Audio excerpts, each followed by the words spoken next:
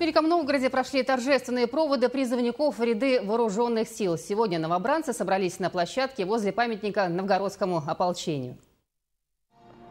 Часть ребят отправится в сухопутные войска, а часть в Росгвардию. Один из будущих представителей охраны общественного порядка, Кирилл Алексеев, поедет служить в Москву. Сам он, как признается, хотел бы в пограничнике, но любые войска важны, как и сама служба. Положительное у меня отношение. Я думаю, это обязательно, всем нужно. Это долг как родине отдать. Как-то, конечно, надо. По-другому я это даже не вижу. Призывников по традиции провожали представители регионального правительства, духовенства, Совета ветеранов и, конечно же, их родители. В общей сложности в осенний призыв планируется отправить более 400 будущих солдат. Призывная кампания продлится до 31 декабря.